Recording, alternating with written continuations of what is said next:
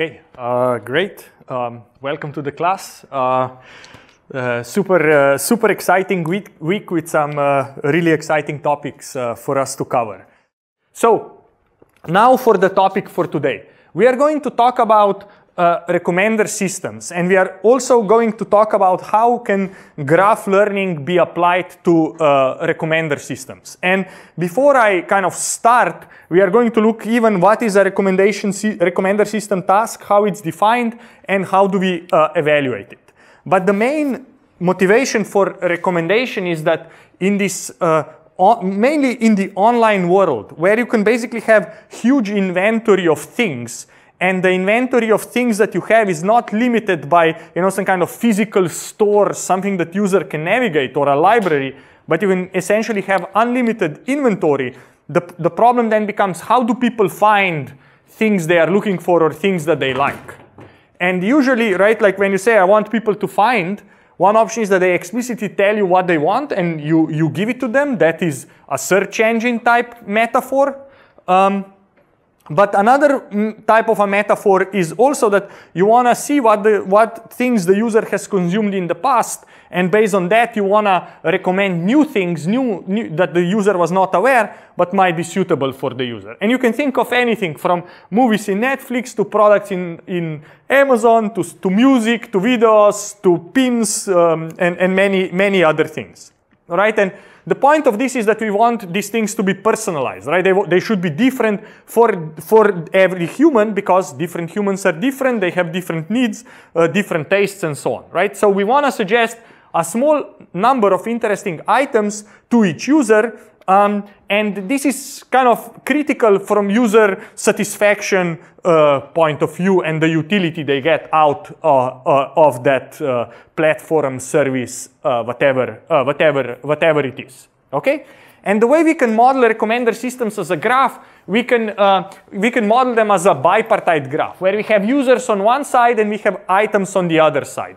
And what you can also do um, many times do, and basically all big, um, especially e-commerce companies have huge efforts that they build a knowledge graph on this side.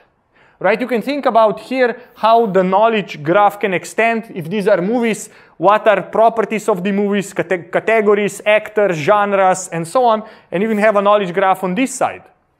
What you can also do on the user side is that it's not only that you know user and the items the user uh, interacted, uh, let's say purchased or, or browsed, but also you have other information about the user, other behavior on the site that you can kind of enrich with the graph on, on the, on the, uh, on the um, uh, left-hand side, right? So the, but the most simple representation is that you have users and items and uh, an edge means that a user has, let's say, consumed uh, that given item, right? So uh, the edge indicates some kind of user item interaction, maybe a click, maybe a purchase, maybe a review.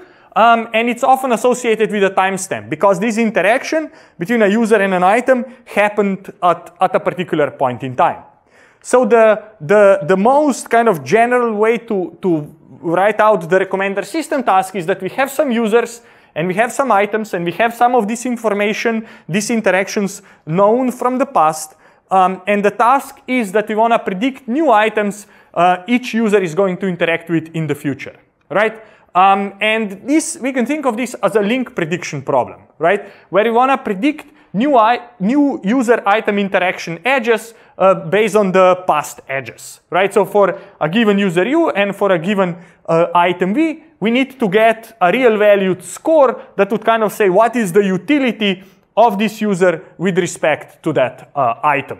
And item can be something very abstract, can be a product, can be a movie, can be a restaurant, can be a dish at a restaurant, can be a, a movie director, can be a, a, taxi ride, can be a decision whether you want to order food or you want to take a taxi ride or you want some other service. So a lot of different things you can think about something recommending something to the user and trying to anticipate what the user is going to do. A modern recommender system is, a, is kind of is a, is, a, is, a big, is a big system. It has many components. And one of the main problems is that many, like in reality, we cannot evaluate this function f, this utility function, for every user item pair right? Like you cannot show up to the Amazon web page and in 50 milliseconds score how likely are you to be interested at this time, you know, on Tuesday at 3.09 p.m. Uh, for each of the 100 million products they have or how many even more and then show you top 20 or somehow decide what to show you, right? So usually the way this works is that you have a two-stage process. So you have what they call candidate generation and then you have a ranking. And the candidate generation, the idea is that basically you, you use the user as a query into your uh, database of items and you retrieve um, the closest, uh, the most relevant items, maybe 100, maybe 1,000 of them. And then you come with a big fat um, ranking uh, stage that now scores every of those 1,000 items with respect to the user. And in a recommender system, usually you would have a lot of different candidate generators and that, that look at various aspects, and then you'd have, uh, let's say, one scoring function. So in the, in the embedding world, when we work with embeddings, the idea is that you basically use, you somehow embed a user, and the embedding of the user is your query. And then you have a KNN means K nearest neighbor engine, where you basically take this embedding of the query and you say, what are 100 or 1000 nearest item embeddings to the embedding of the user, and you retrieve those. So this is like a, a high dimensional search engine. It's actually the way, the way this works, it, uh, uh, it's interesting. The, the, the state-of-the-art methods for retrieval, these nearest neighbor engines are graph-based, called uh, HNSW is the method. Hierarchical small world networks is the method, right? But you, you retrieve here from millions, tens of millions, billions of items, you have your candidates, and now you are scoring these thousand candidates with respect to the user and then return, let's say, top 10. And really, in reality, you never return top 10 because out of the highest ranking ones, you're like, which ones has the user seen yesterday? Aha, those I throw away. I want some diversity, so I'll show, you know, five, uh, five examples of this side and uh, of this type, and I'll show another five examples of that type and somebody is paying me to show that item, so it's an ad and I'll throw that in there. So there is a lot of there's a lot of logic that goes on in here from you know you scoring to actually user seeing it. But you know that's maybe uh, if you are interested more in this next quarter, I'll be teaching two, uh, CS 246 and we'll talk more in depth about recommender systems. But it's it's a super fascinating area. Okay, so search and then I recommend. Okay. So the point is that for each user, we want to recommend in this kind of uh, k items, where k is, let's say, 10 or 100, right? And we rec uh, the recommendation to be effective, k needs to be much smaller than the total number of items I have in my database, right? So usually we recommend, let's say, 10 items to the user and then see what the user does with the 10 items. And as soon as the user scrolls, we recommend the next 10. And the user scrolls and the next 10 because we want to be very real time. We want to be very responsive to the user. It makes no sense to use, yes, you know, a, a, your engagement from last week to materialize recommendations for next week. It's, it, it's stale. So we want to be kind of responsive, right? Uh, and the goal is to include as many of these positive items as possible in the, into the K, uh, top K recommended items. So what do I mean here is that a positive item is item that the user will interact with in the future right? So the idea is that basically I want to predict what items you are going to, uh, to interact with next week. And uh, I want today to guess as many of those items as possible. The evaluation metric that people would, call, uh, would call, talk about is they would call it recall at k, or they would call hits at k. So out of top k items that you recommended, how many has the user actually interacted with in the next time period? So the way you can think of this is that for every user, P sub u is a set of positive items that the user will interact in the future, right? Now, of course, you can say, okay, how do I know what the user will interact in, in the future? The way you know it is that you pretend that today is February 1, and then you look what the user does in the week of February 1st to February 2nd, right? So you, you go into the history and you hide the future from yourself and see can you predict that future. That's the way you know what the user will do, right? Um, and let R sub u be the set of items recommended by our model. Right, so the top k recommendations. Um, right, that, that um, uh, and we wanna, um, items that the user has already uh, interacted with, we wanna exclude. So the point is that um, we wanna maximize the size of the intersection, right? We want uh, out of the items to recommend that we recommend as many of them as possible to be the ones that the user has uh, uh, interacted with in the, in, the, uh, in the future. So this is called recall, recall at k, and it's simply the intersection between these two sets divided by uh, the, the fraction of positive, uh, positive items. And the higher value indicates that more positive items are recommended uh, to the user. Um, and the final recall is computed by averaging the recall values across all users, right? So the unit of recommendation is a user. It's, a, it's I'm recommending it to a user, I'm recommending it in a session, okay? So um, this is what I want to say kind of from what is the goal of a recommender system. So now let's talk about embedding-based methods for recommender systems. The notation I'm going to use is the following. U is a set of users, V is a set of uh, items, and E is a set of observed user item interactions, right? So in some sense, a set of edges between uh, users and items where you, an edge means that user U interacted with item V. So now, you know, what is an interaction?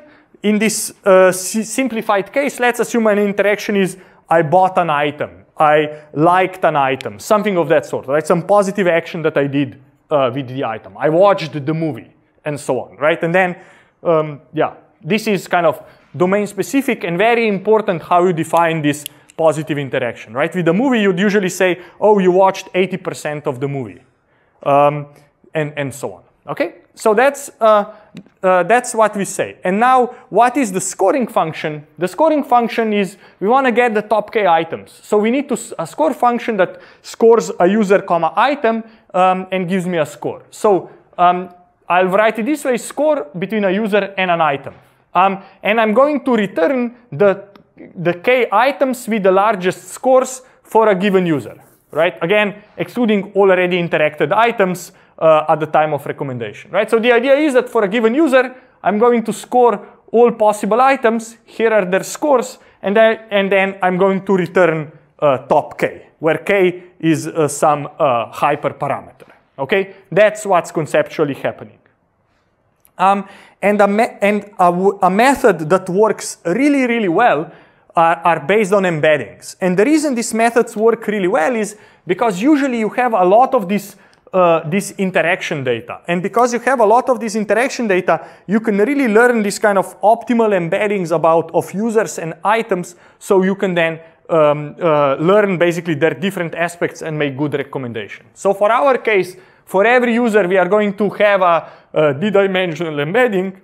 And for every item, we are going to have a d-dimensional embedding. And then I'm going to have some scoring function f, parameterized by this parameters theta, that is you know, going to take embedding of the user, embedding of the item, and will return me a score. Okay? And that will be, uh, in some sense, a utility uh, that, uh, of a user with respect to a given item.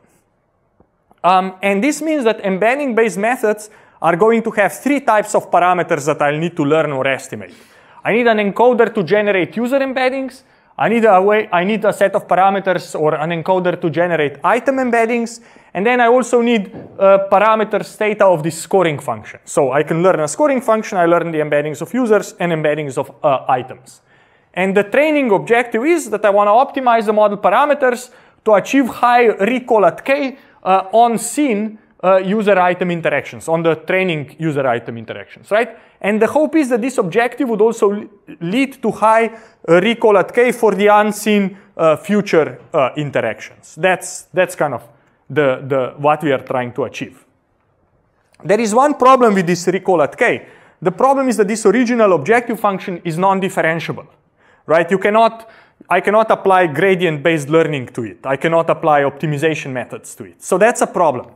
So what, what you do in practice is that people have developed two surrogate uh, loss functions that are widely used and enable efficient gradient-based learning, right? Basically, I can do backpropagation, I can use SGD, uh, Adam, and so on, right? And there are two ways how people do this. One is called a binary loss, and the other one that's better is called Bayesian personalized ranking loss, or BPR. So I'll explain this one quickly and then the, the uh, and what the problem is with binary loss, and then I'll show you the BPR.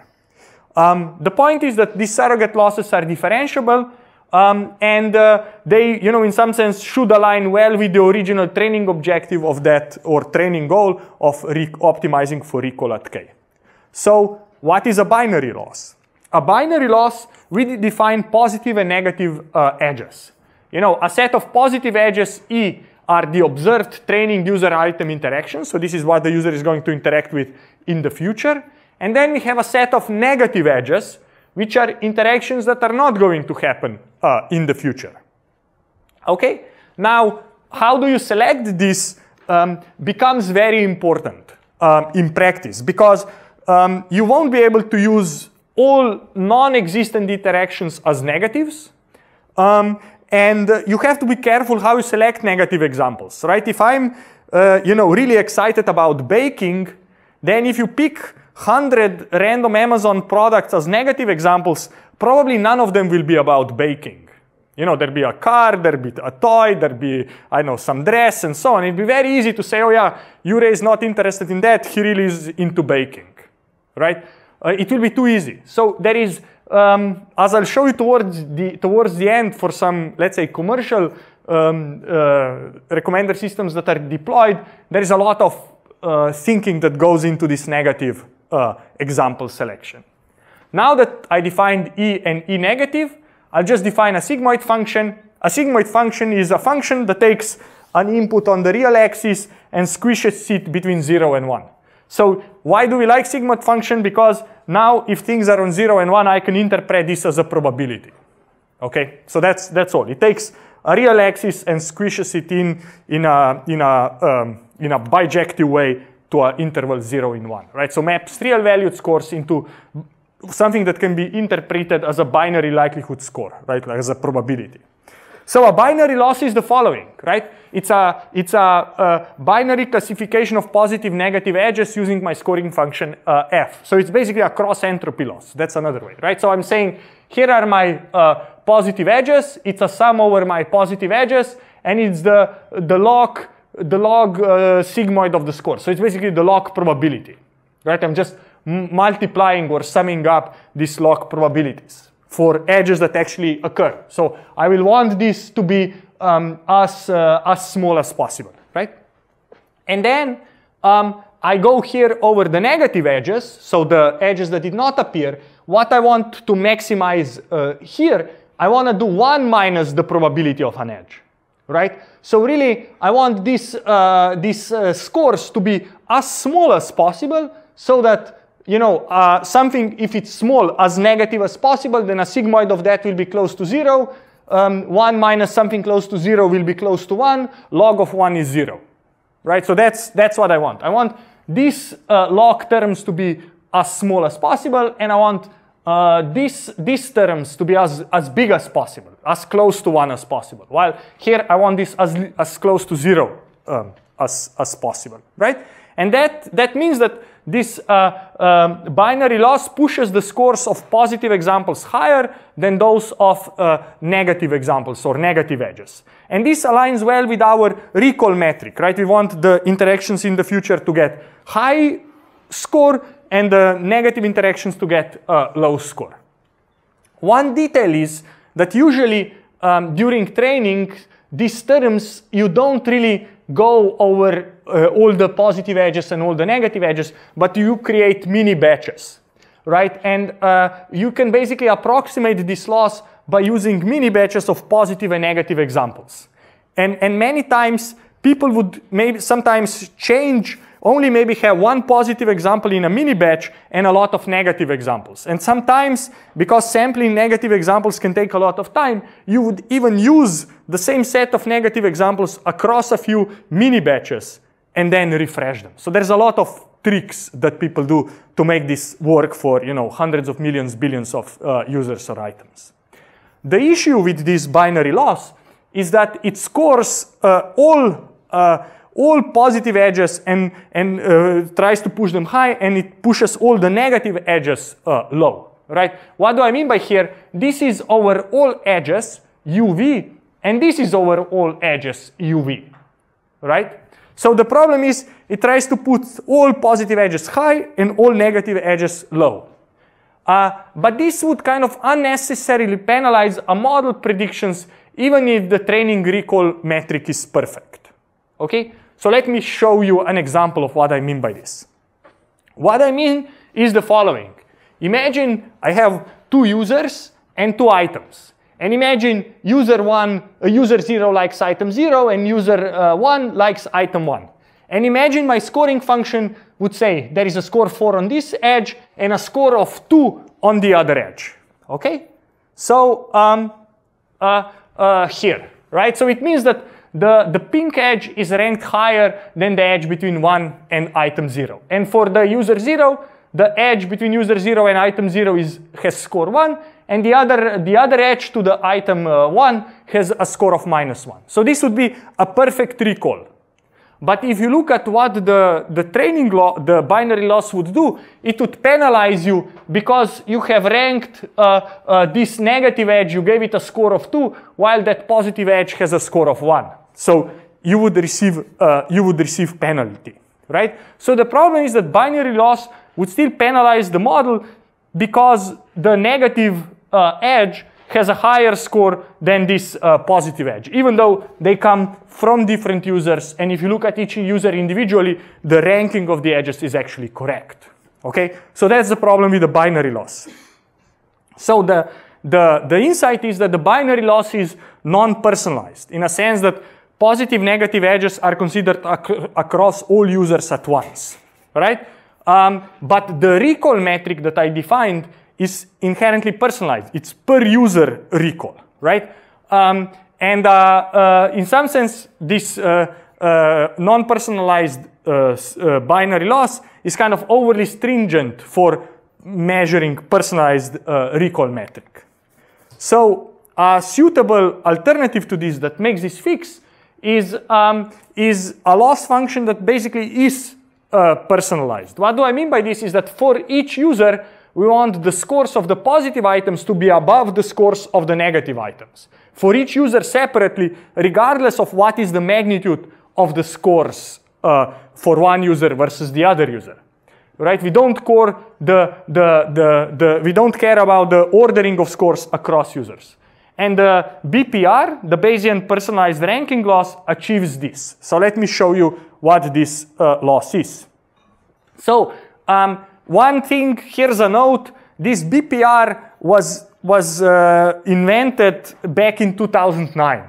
Um, and at that point in time, they, they called it Bayesian because they had some Bayesian priors uh, as part of their model. But it turns out you don't really, that the key innovation was not the Bayesian priors, but was this uh, personalized ranking. And people still call it Bayesian personalized ranking, even though it's the personalized ranking that is important here. Okay, so just to explain why Bayesian is there, even though it kind of shouldn't be. Um, so the point being is that this loss is personalized surrogate loss that aligns well with this recall at k. And the way it works is the following, is that for every user, we will now define a set of positive and negative edges, right? So rather than saying, here are all the positive edges and here are all the negative edges, now we are going to have positive and negative set for every user. So um, now notice that I have a set of positive edges that is a function of the user and a set of negative edges that is a function of the user. Okay, before we just said there are negative edges, now this negative set will be different depending on what, what user I'm, I'm thinking about. Okay, so this is, and notice here when I give the definitions, I always kind of condition on this, on this user. I say these are the positive interactions of this given user and these are the non-interactions or negative edges of this given user. Okay?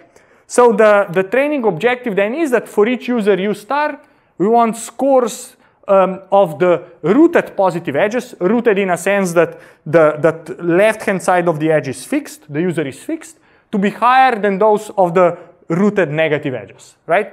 Um, and the way you write this down is here, where I'm saying I'm going over every positive edge and every negative edge for a given user. And then here, I'm saying for a positive edge, it has to be ranked higher than all the negative edges, right? Because I take a positive edge and then I go over all the negative edges and here I take the difference in ranking. This is the positive uh, and this is a negative, right? So now if the score, if the score um, of, the, of the positive guy is always bigger than the score of any negative uh, uh, edge for, uh, for, a given, uh, for, a given, for a given user, then this difference will be positive then this sigma, this sigmoid will give me something that is uh, above, above zero, um, and things will, things will uh, work out, okay? So the final BPR loss will be, um, will be, will be one, one over number of users, and then you are kind of summing this loss over all the users, where the loss is defined here, and then again, um, the, the, uh, the point here is that you can approximate this, again, using mini batches and so on. But the key is that you are now comparing the difference between a positive interaction and a negative one for a fixed user, okay? And only then you sum up or average uh, over all the users you have, okay? Um, now, one thing about this BPR loss that I, that I wanna say is that in practice you wanna do this over mini batches. So this means that um, we sample a subset of users U for a given for a given mini batch, and then for uh, each user we sample one positive item um, in uh, for for each user in the mini batch. We sample one positive item um, and a set of negative items. Okay. Um, and then in the, the mini batch, the loss would be computed uh, as, as follows, right? So this is I average over all the users in the mini batch.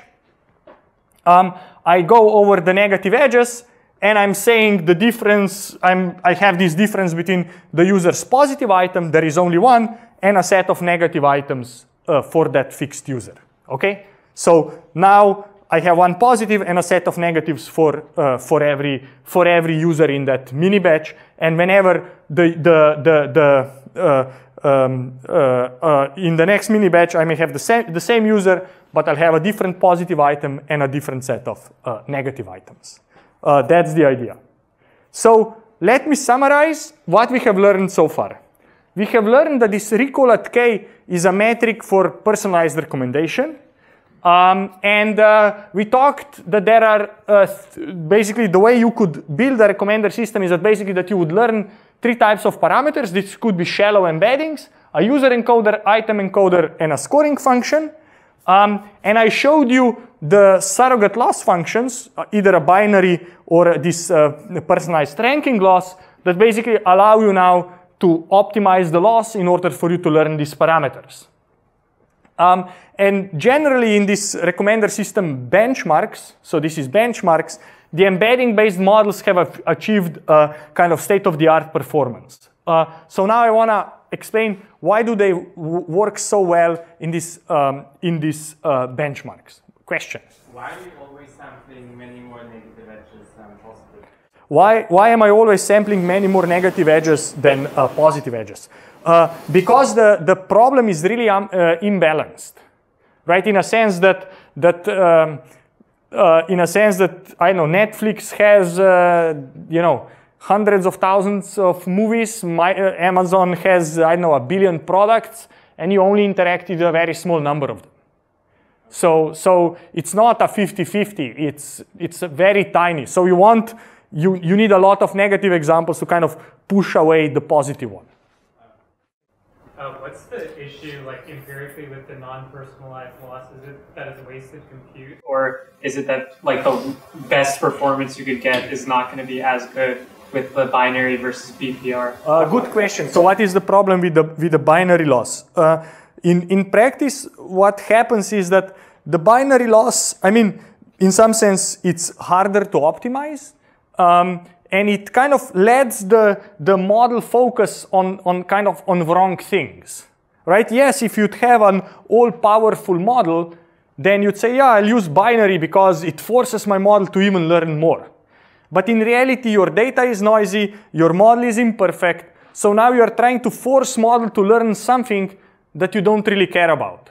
So it's better to have a personalized loss because it really tells the model what you really care about and the model is going to use the modeling power to separate out items for a given user rather than make items comparable across users. That's kind of the key why one is better than the other. But uh, good point. Yeah, thank you. Yes. For the negative edge choices, uh, do you want the negative edges to be closer to your required uh, sample, or do you want them to be like very distant? Great. Yeah. Uh, good question. How do I select negative edges? I'll I'll, I have slides at the end where I'll show you how, how to do this properly. But the idea is the following. The idea is that if you pick random things, then, and you know my, my baking example, right? Then it becomes too easy um, for the model to learn because it's really saying, oh, here is baking and there's everything else, right? But if you think about these candidate generators, they really need to pick the not out of all baking items, but you know, maybe I like, you know, whatever, making cookies that look cats and dogs, right? So you want to recommend me, uh, I know, cooking stuff that makes cats and dogs. I, am making this up as I go, so let's see where it takes me, you know? But, but what I'm trying to say is, it's important to force the model to really give you those good items in the top 100 out of a billion. So you are really learning to push the good stuff all the way to the top and all the irrelevant stuff to the bottom. So the point is, if you have negative, random negatives, it's too easy for the model to learn and it's too much noise at the top, so it never learns. So what you can then do is to start introducing what is called hard negative examples, right? So kind of, you know, baking stuff that is not cats and dogs.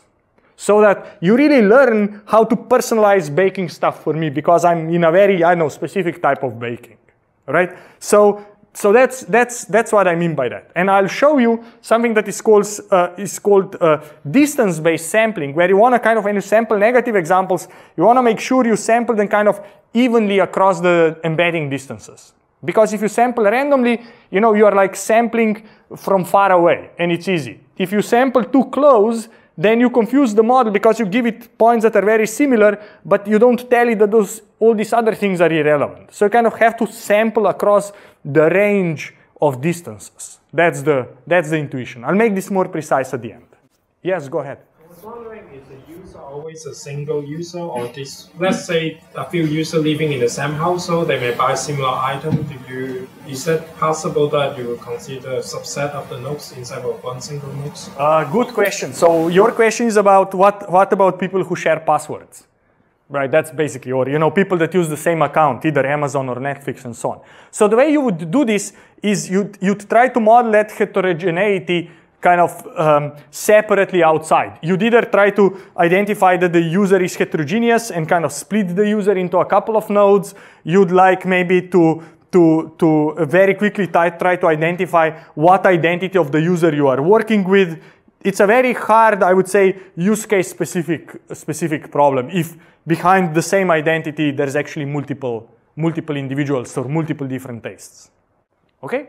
Uh, good. Um, so why do embedding, uh, thank you for the questions. Uh, let me continue um, and please ask me more, right? So um, why do embedding uh, systems work? Um, and there is this super powerful intuition for recommender systems that's called collaborative filtering.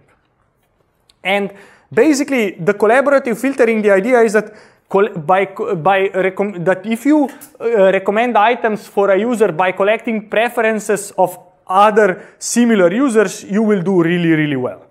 Right? In a sense that similar users tend to prefer similar items. Right? If you and I watch 20 movies uh, in common on Netflix, then probably the 21st movie we will watch will also be very similar. Right? So if I watch 20 movies and you watch 21, and all the first 20 are the same, then a very good recommendation is to say, whatever is your 21st movie, that's uh, my 21st movie. That's, that's the idea of collaborative filtering, where you can basically say two users are similar if they interacted with a lot of uh, same items, and then you just look what, what the other user has interacted with that the first one hasn't yet. And that's, the, that's, the, that's, the, that's a very good recommendation uh, that you would come up with here. And these embedding-based, graph-based methods do exactly that, right? They will, because uh, these two users have interacted with similar items, they will have similar embeddings.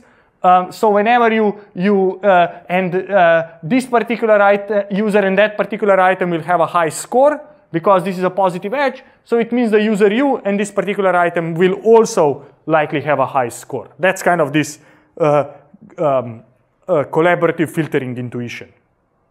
Right, so the key here is how do we capture similarity between users and items? Um, and, and embedding-based models basically allow you to capture this uh, really well. Because low-dimensional embeddings cannot, are basically forced to generalize in a sense that they cannot simply uh, capture all the user item interaction data, right? And the embeddings are forced to kind of learn this implicit similarity between users and items. And this allows the models to make effective prediction uh, on unseen user item interactions, right? If your embedding dimensionality is too large, then basically you can just memorize the edges and you don't want to do that. So what you do is you make the embedding dimensionality a bit smaller to kind of force the model to identify these similarities between, uh, between users and items. So what I want to tell uh, in the remaining of the lecture is actually show you a few GNN-based methods for recommender systems, right? What we learned so far was you can just do shallow embeddings of users and shallow embeddings of items. The problem with that is, for example, is that it's transductive um, and that uh, you need to learn these uh, you need to learn these embeddings. I'm now going to show you uh, three methods: uh, the neural graph collaborative filtering, the light GCN, which is kind of a simplification, and then I'll tell you about this um, paper called PinSage that, use, that showed how to use GNNs to make high quality uh, embeddings uh, for recommendations. And this is actually, these are, the first two are uh, kind of research papers. This is also a research paper, but it's a deployed system. Uh, so um, it's kind of a lot of practical uh, tips on how to make uh, things work and what really matters. Okay? So let's start with neural collaborative filtering. So the conventional collabor uh, filtering, collaborative filtering is, is based on these shallow encoders, So it means shallow embeddings. We have no user, no item features, um, and uh, we only, you know, basically for every user and item, we prepare a shallow learnable, uh, learnable embedding, right? We just directly learn the embedding, and usually the scoring function, people just use the dot product. Usually the scoring function is just the dot product between the embedding of the user and the embedding of the item because it's then easy to do the nearest neighbor search uh, if you have a very simple uh, scoring function. Okay, so that's uh, the way people uh, usually do it. Um, but the problem with these shallow encoders is that this does not explicitly capture the graph structure. Um, and the graph structure is only implicitly captured as part of the training uh, objective. So uh, what you know, the researchers in the paper say that only kind of the first order graph structure, the edges, is captured in the training objective. And the question is, could you kind of capture a bit more of the graph structure explicitly beyond just individual edges? Um, so the motivation is that we want a model that explicitly captures the graph structure um, beyond just the, the training objective and that captures kind of more, bigger region of the graph rather than just each edge kind of individually. And here, the GNNs are a natural approach to this. And as I said, I'll talk about the neural graph collaborative filtering and then uh, a method called uh, uh, light, uh, light GCN that's a simplified version of the first method. Um, but the neural collaborative filtering explicitly incorporates higher order graph structure when generating user and item embeddings. And the key idea is to use GNN to generate graph-aware user item embeddings. In the initial step, we learn shallow embeddings of users and items. This is what I showed you to do so far. And then what this uh, paper proposes is to use a GNN to propagate the embeddings um, and, and make them more graph aware. So what this means is that use now a GNN to kind of enrich an embedding of every user and item through the embeddings of nearby uh, users and items. And you kind of smooth these embeddings across the graph a bit, you enrich them, and you get um, better performance uh, for that reason. Okay? So the way this works is we are given user item uh, bipartite graph, um, we, pre we, we prepare shallow learnable embedding for every node. And then we use a multi-layer GNN to propagate embeddings uh, across this uh, bipartite graph. Um, and then, in this sense, final embeddings are explicitly uh, graph aware. Uh, there are two kinds of learnable parameters that are jointly learned, the shallow user item embeddings, as well as the parameters uh, of the GNN, right? So here, the way we would do it, we would not first train the, um, the shallow embeddings and then the GNN, but we would kind of do it one after the other, right? Like we would basically do them in a coordinate descent type of way, um, so that we learn both uh, at the same time. Okay? Um, now, about the initial node embeddings, we set a shallow learnable embeddings uh, that are uh, um, uh, that basically are initial node features or node embeddings for every user. For uh, every uh, every item, we initialize this uh, embedding, and then we iteratively update node embeddings using this kind of neighborhood embeddings, where we say the the embedding of a given node at the next iteration is a combination of the embedding of the same node at the previous iteration plus aggregation of the uh, embeddings of neighbors. Um, and here we have uh, two, uh, we are um, uh, combining uh, from items uh, and we are combining from, from users, right? Um, and different architectural choices are possible for the aggregation and combination. Aggregation could be mean, uh, and combine can simply be like concatenation and some, uh, um, some linear layer um, and, and, and then a non-linearity, right? So there's a, lo a lot kind of flexibility how exactly uh, you implement uh, you implement this part. Okay, and then you know what are the final embeddings in the score function? After k rounds of this neighborhood aggregation, we get a final embedding uh, h uh, h uh, uh, h of u of, of k, and also the h of the item at k. And then uh, what do we do? I say the embedding of the user is simply the embedding at the, at the last iteration, and the embedding of the item is the embedding at the last iteration.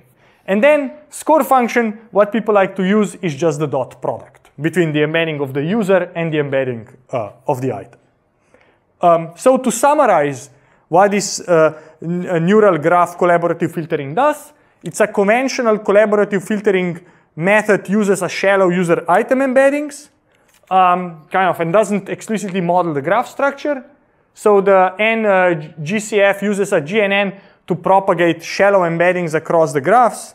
Um, and embeddings are explicitly aware of kind of higher order uh, graph structure because of this propagation. That's the, that's the key um, innovation here that you get the benefit of shallow embeddings, but also um, some smoothness or propagation of the shallow embeddings across the graph using this learnable GNN. Okay, that's the that's the idea here. Um, so that's the the the first method. I don't know. Do people have any questions, or shall I show you the kind of a simplified version of this?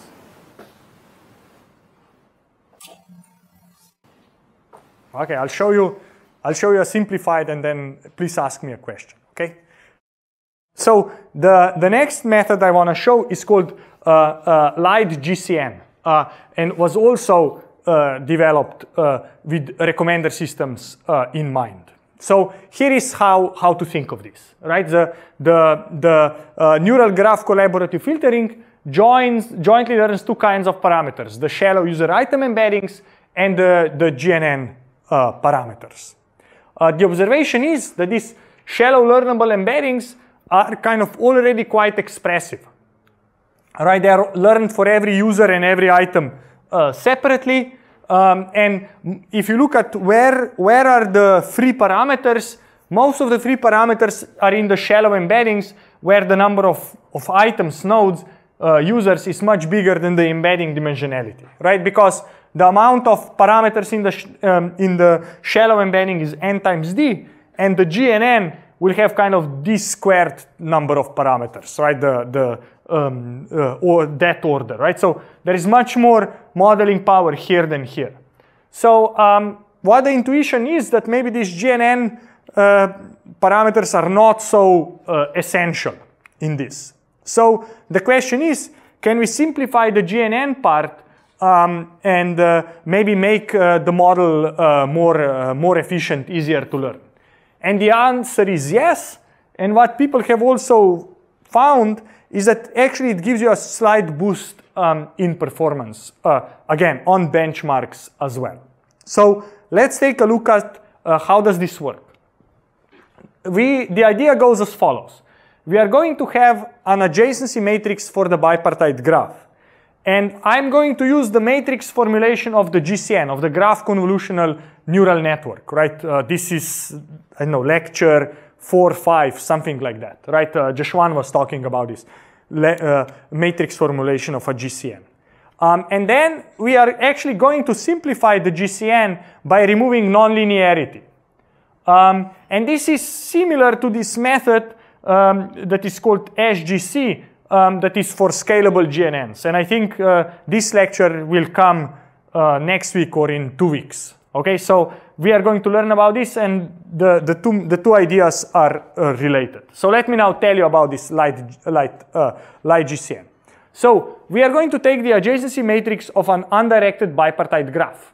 So the way, the way the adjacency matrix of a bipartite graph looks like, there are two blocks of zeros because items don't link to items and users don't link to users.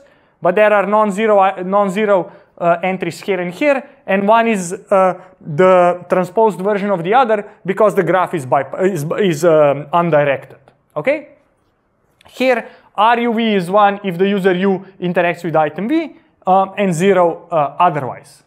Um, and then we also have an embedding matrix that has the embeddings of all the users and the embeddings of all the items. Okay, that's the, uh, that's the, that's the setting. So now I, I show you, uh, uh, uh, try to kind of uh, remind you what was the matrix formulation of a, of a GCN. Um, and the key concept here is this notion of a diffusion matrix. Um, and another connection between the lecture today and what we are going to talk about now is the connection to this correct and smooth method. That was, I don't know, lecture nine or something, um, where we talked about this uh, semi-supervised correct and, correct and smooth method that was propagating the labels across the graph. And uh, the key concept there was this notion of a diffusion matrix, where we have D to be a degree matrix. So this is a diagonal matrix that has degrees of nodes on the diagonal. Um, and then we define this uh, A tilde as a, a, normalized adjacency matrix to be the, uh, to, to, be the, um, the degree matrix times the adjacency matrix times the, the properly processed uh, uh, degree matrix, okay? And then let E of k be the embedding matrix at the kth layer. And again, the embedding matrix is simply each row stores an embedding of a, of a, uh, um, of a proper node. The difference uh, here between the GCN, the original GCN formulation is that here there is no self connections, right? In the GCN, we added a self loop to every node. Here we don't, okay? And then each layer of GCN segregation can be written in the matrix form. This was that uh, lecture that, that, I was uh, referring to, where basically you can take this uh, diffusion matrix um, embeddings uh, at a layer k, the, the weight matrix to transform the embeddings, send it through a nonlinearity, and you get embeddings at the next layer.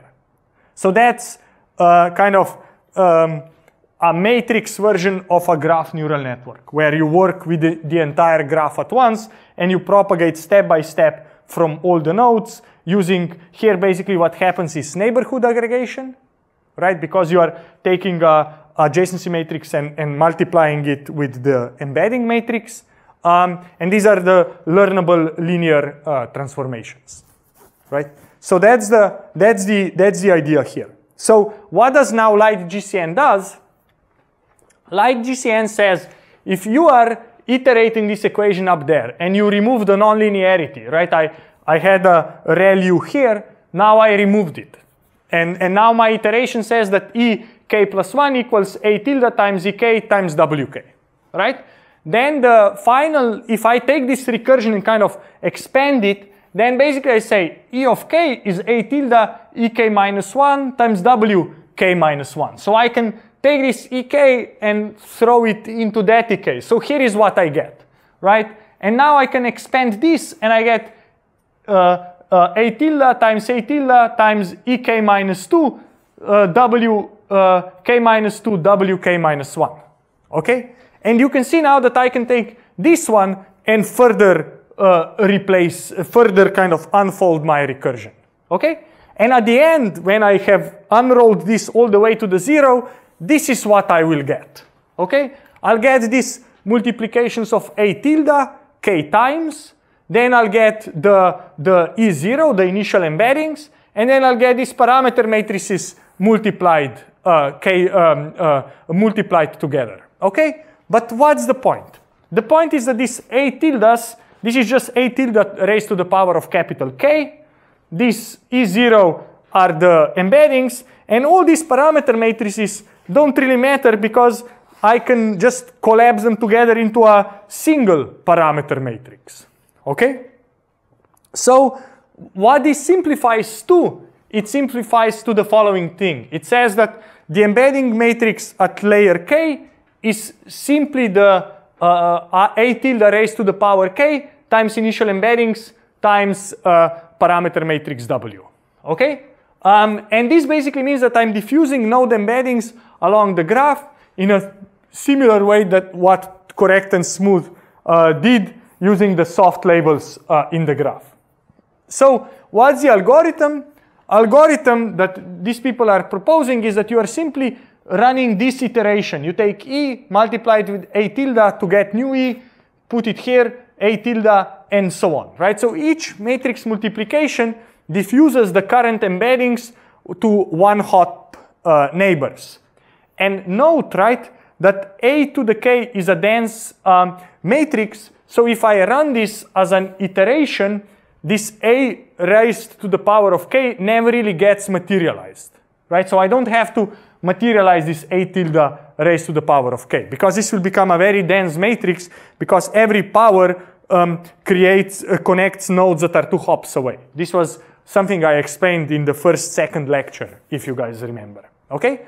So um, this basically iter iterative matrix vector product uh, is useful to compute this expression, but much more scalable because I'm just doing this multiplication several times, okay? So this is uh, the basic version of this algorithm. What people do in reality is they call what they say multi-scale diffusion, right? So what they say is they say, let's, um, they say basically let's weigh uh, contribution from nodes that are farther out less than from, than from the nodes that are close, okay? So the way they do it is they come up with these uh, weights alpha, alpha 0, alpha 1, alpha 2, and so on. Um, and uh, this is now multi-scale because these uh, um, neighbors at different layers contribute different amount. Um, and this includes embeddings diffused at kind of multi-hop scales.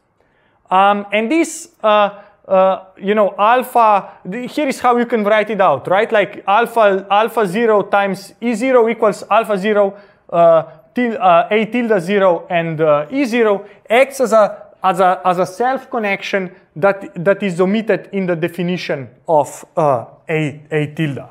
And the coefficients, this alpha 0 to alpha k, are hyperparameters. And what do people like to do? For example, just as a way to set this alpha parameters, LightGCN uses this uh, uh, uniform coefficient, where basically they say alpha k is just 1 minus uh, k plus 1. So here, um, uh, um, uh, the, the, they would actually set the alpha to be, uh, to be, to be the same for all alpha 0 to alpha capital K. Okay? So how does this work? Let me, let me try to summarize this. So basically, we are going to iteratively diffuse embed, uh, embedding matrix E using this A tilde matrix that I, that I discussed, right? Um, so from little k going from 0 to k minus 1, I'm going to take the um, embedding, uh, the current embedding ma matrix, and then basically I'm going to multiply it with this normalized uh, adjacency matrix L uh, A tilde with self loop omitted to get the next level uh, embedding matrix. And then I'm going to put this uh, here and multiply again, and I'm going to iterate this uh, for uh, capital K number of steps. Um, yes. Uh, two questions. The first one is, if you are Amazon and you have two, a billion products, how are you doing this? I mean, are you doing this matrix multiplication all in memory? And then the second one is, is is this related? Is this sort of like a generalization of the Katz matrix to the normalized adjacency matrix? Uh, two good questions. So the first question was uh, uh, about uh, about scale. Um, yeah, multiplying big matrices is not a problem. Uh, uh, I don't know how to say. If you take my class in the spring, uh, you'll see you can you can multiply really really huge matrices uh, uh, if need be. You can even use MapReduce and you can uh, you can multiply the matrix describing the entire web and things like that. So so so this multiplication, yes, it's non-trivial, but you can you can do. What becomes a bottleneck is is storing these embeddings but you can distribute them across machines. You can distribute parts of this matrix across machines. You know, you, you, you need some engineering, but, but it's very solvable. Um, and then the second question was about Katz. Is this similar to Katz? Yes, it's similar, right? It's similar in a sense that in Katz we had these alphas as well, but they were decaying exponentially, right? And then there was this closed form uh, that, that we discussed. Here, these uh, alphas are, um, uh, uh, you know, these people decided to choose it this way. Um, it's a good question why. It's a good question what would do if you do uh, if you do not lights GCN but you do a Katz GCN. Um, it'd be cool to at least spend some time on Google Scholar and see if anyone has tried to do that. But it's a it's an interesting question. So what the authors propose here is that basically you store all these intermediate embedding matrices and at the end you just average them together, right? This is this uniform alpha, right? You just kind of average them together and that gives you your final, um, your final embedding matrix, okay? So that's the overview of this method where rather than iterating and taking the last one, you, you remember the intermediate ones as well and average them up into your uh, final embedding for the users uh, and for the, uh, for the items. And then, as I said, the score function um, is uh, simply a dot product. You take a user, you take an item, uh, you dot product the two vectors, and that will be, uh, that will be, that will be your score.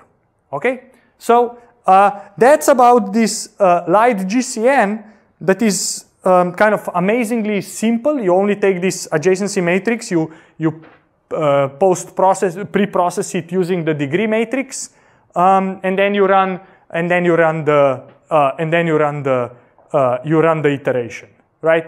So the overview is you are given the um, uh, uh, adjacency matrix. You take this initial learnable uh, embedding matrix E, right? So I use the shallow embedding matrix E that I learn ahead of time.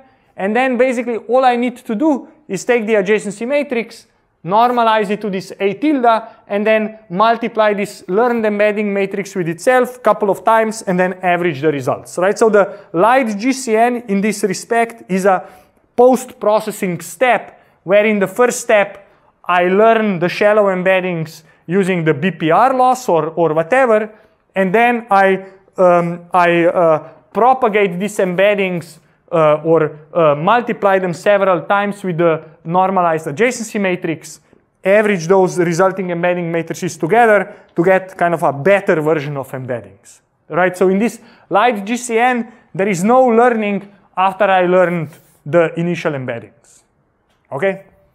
So that's the, uh, that's the, that's the key idea here, um, right? And, you know, why does this simple diffusion propagation uh, work so well? Um, the answer is that diffusion directly encourages the embeddings of similar users' items uh, to be similar, right? So similar users share many common neighbors, uh, items, and are in this respect expected to have similar future preferences, which means that when you are um, aggregating these embeddings from similar users and averaging them, you are in some sense uh, uh, amplifying this similarity uh, between, between users. And you could make the same argument for items, is the two items are similar if uh, uh, they have a lot of users in common who interact with them. So that's the, um, that's the, that's the idea here. Um,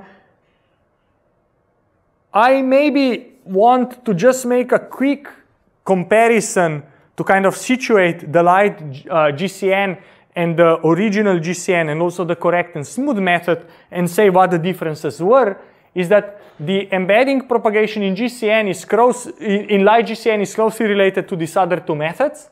Um, and in GCN and correct and smooth, uh, the, way, the way we did it, we said that uh, in terms of propagation, when we sum over the, the neighbors, we normalize the embeddings by the 1 over the square root of, uh, um, of the product of the degrees of uh, nodes u and uh, uh, node, uh, node, um, uh, node v.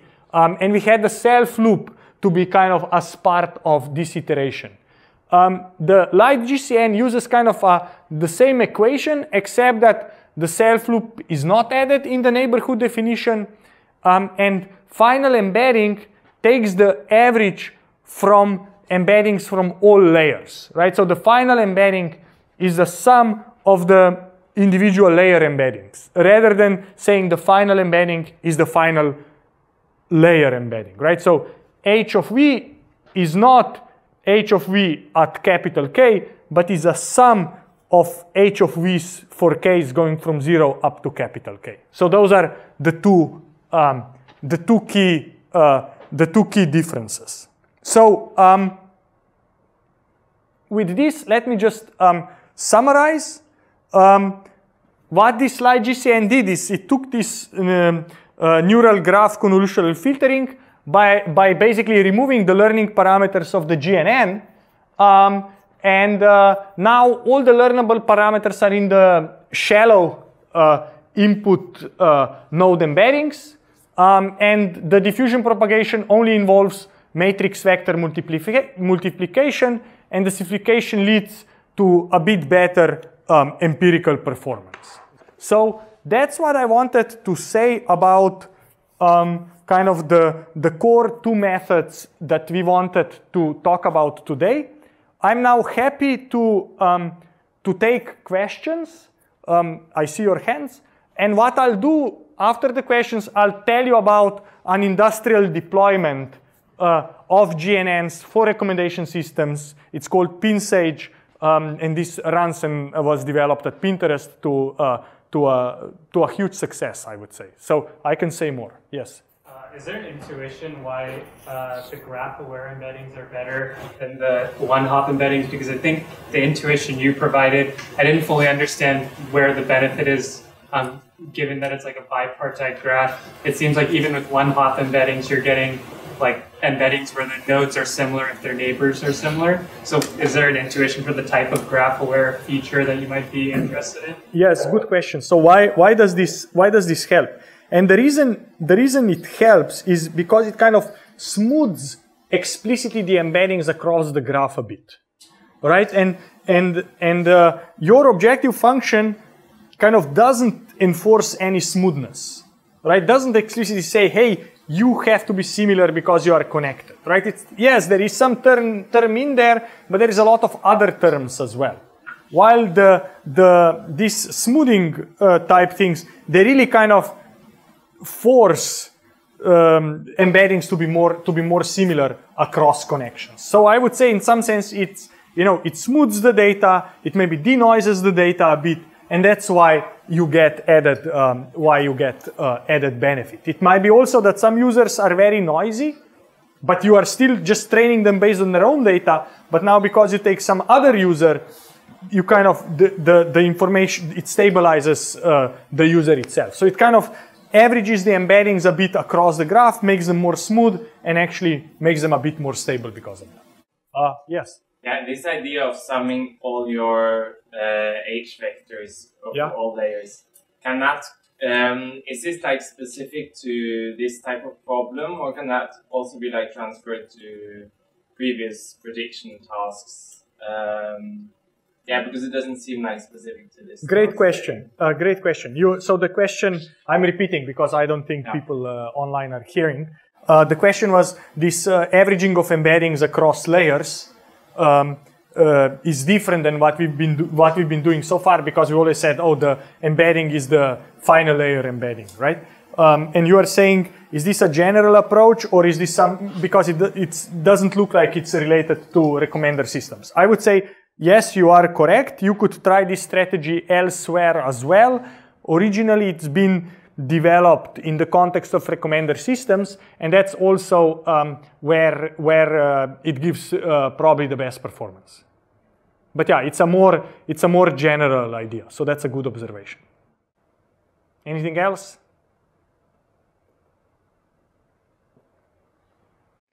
Okay, so let me um, let me tell you about uh, uh, this uh, uh, PinSage or uh, Pinterest recommender system that's uh, graph based. Um, what is the idea?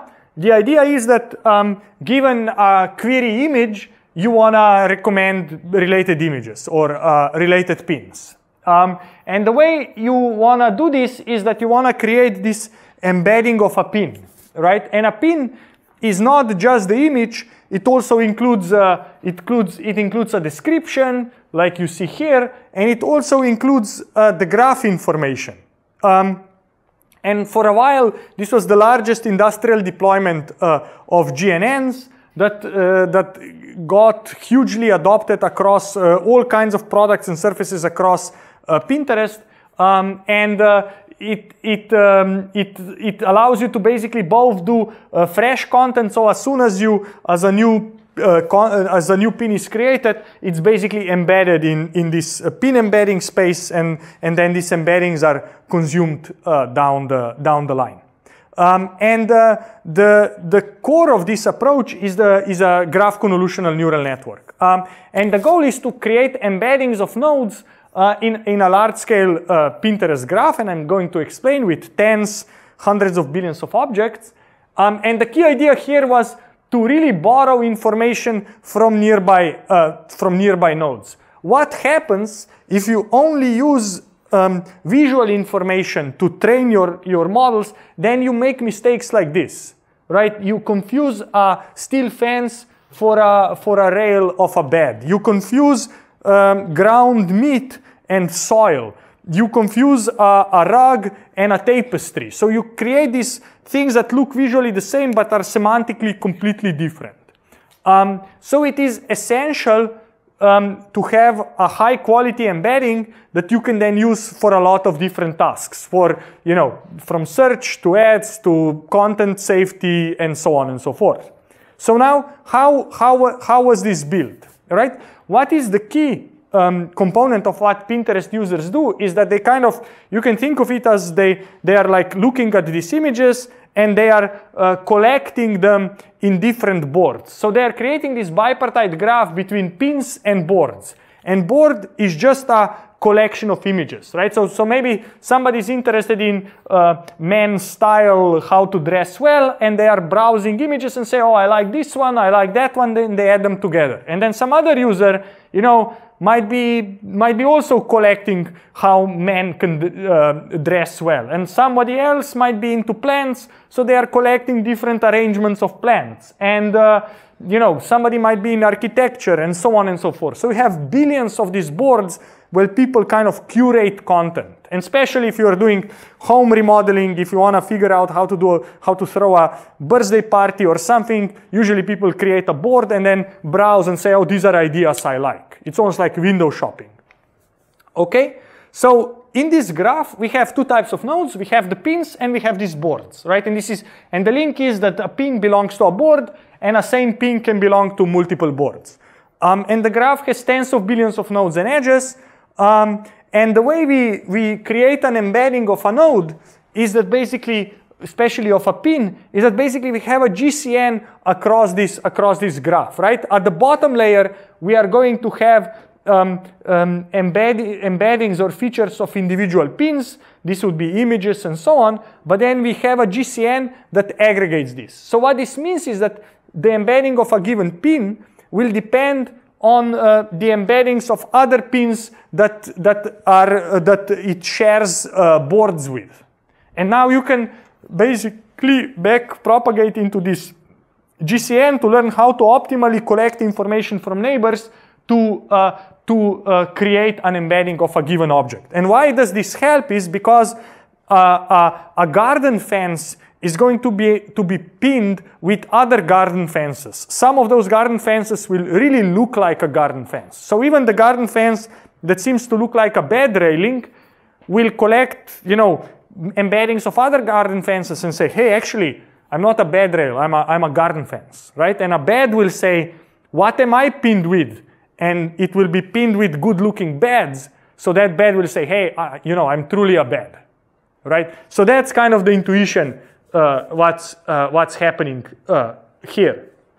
And what's interesting in this, in this work is that um, uh, in addition to the model, the, the innovation, the paper introduces several methods to scale up GCN to this billion, billion node scale and to the production workloads. And I'll give you a few examples. One was across uh, negative samples that there was a question earlier, um, um, especially around hard negatives, curriculum learning, and also mini batch training of uh, GCNs, right? Uh, uh, usually people would have this matrix formulation of a GNN. This was one of the first papers that kind of said, hey, let's do the mini batch with the explicit uh, uh, sampling of the computation graphs uh, and learning over that.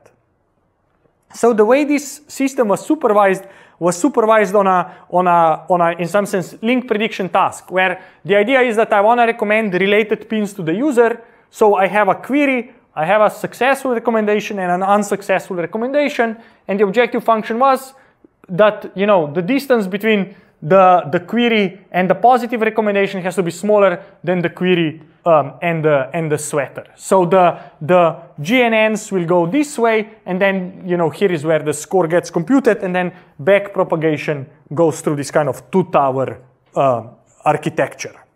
Um, in terms of training data, um, you know, this was, this was a few years back, but even then they were training on over a billion, uh, over a billion uh, pairs.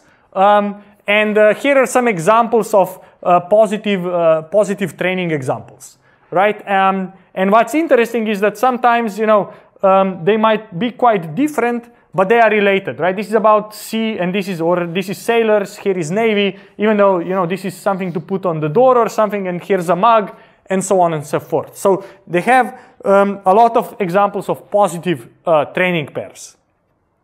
Um, one innovation to make this scale is this sharing of negative examples, right? That in a BPR loss, for every user in a mini batch, we sample one positive interaction and then uh, a set of negative uh, interactions. Um, and using more negative samples per user improves recommendation performance, but also slows down training because you have to create these negative examples over and over again. So, right, if you want to have some number of positive users, then for each one you need to create some number of negative examples, and this, this can become uh, quite expensive. Okay? So um, what do they, what, what is the idea? Idea is that we can share the negative examples across all users in the mini batch. So the idea is that while positive examples are user specific, now the negative examples are, are the same for all the users uh, in the mini batch. This way, we only need to generate uh, um, uh, um, uh, uh, whatever is the number of negative examples embeddings for negative nodes, and we don't have to resample negative examples every time for, for each user. Um, and this saves a lot of node embedding generation, a lot of computation, uh, by basically the, the factor of the size of your uh, mini batch. Um, and empirically, empiric, uh, the performance stays about similar, um, but you have just sped up your computation by a, by a, by a, big, uh, by a big amount. So that's the first. And then the second one is this idea of um, hard negatives. And this goes to the questions I was getting earlier, right? That you basically, in these industrial recommender systems, you need to make these extremely fine-grained predictions, right? You have billions of items, but then you only care about top 10, top 100. So um, the issue is that uh, shared negative examples, you know, in principle are randomly sampled from all users. So most of them are kind of easy negatives, right? It's so easy to, to recognize what's a positive example versus negative examples. So what you want to do is create this notion of a hard negative. And let me give you an idea, right? If this is a source, this is a query, and that's a positive example, right? Then if I just pick a random pin, you know, it's some random cottage somewhere, somewhere in the wood. It's very easy to say this is a positive pair and that's a negative pair. But if I, but this is an example of a hard negative example, right? It looks, so these are two, you know, thank you very much, you are special type of uh, cards. And this kind of looks like a card, but it's not. If you see, this is something you, you can put on a, ta- on a desk uh, and it says happy birthday, right? So this is a hard negative example. And if I just have these random negatives, I'll be learning to make distinction between these two and that two, and that's very easy. So I'll never learn to the level to say, oh, actually, this is not related. This is very different. Okay? So you have this notion of uh, hard negative examples. And the key insight is to apply this technique of um, curriculum learning where you make negative examples uh, gradually harder and harder as the process goes. So that the model kind of focuses on hard to distinguish parts of the space and really learns these fine-grained uh, distinctions. Um, I'll, uh, you know, there are a lot of heuristics how you set hard negative examples. At some point in time, they were saying, oh, let's look at, you know, something that is ranked at rank 2000 to 5000 and maybe say that those are negative examples. But the correct way to do this is this distance-based sampling. So here's the, here is the key plot that I want to show to you. So this is the distance between examples, right? Um, and if you do unif, so this is distance zero, and uh, you know this is kind of distance infinity. Think of it that way, right? If you do um, uniform sampling, then basically most of the pins are unrelated, so they'll be very far away. So your, you know, your positive example is close, but then this exists, this gap, and there's, and then uh, there are your negative examples. So if you do this hard negative examples that I showed you, then you, then you sample from this region. So you have a positive example, this region, and that region. Again, it's not good. So, um, but if you use this distance weight sampling, then you kind of sample your negatives along the entire distance spectrum. And that really makes the model learn best because you give it examples of all kinds of hardnesses rather than giving it super easy or super hard uh, examples. And if you do this, then you get really, really good results, right? So here's a query pin, and this is the visual embeddings nearest neighbors, and here are the graph-based uh, uh, nearest neighbors. And you can see how basically, you know, this is not bad, but this is definitely better, right? And you get some, you get some mistakes. So um, my last slide and then finish. So the, this PinSage uses GNN to generate high quality user and item embeddings that capture rich node attributes as well as uh, the graph structure. Um, the kind of the key innovation was scaling and the notion of negative sampling. Um, and uh, um, you know, uh, if you um, um, to you know uncovered topic of this lecture is how do we scale GNNs up to large scale? And I'm going to talk uh, talk about this either I think in the next one or two lectures. So this is what's uh, yet coming. But uh, I hope you like the lecture and um, thank you so much.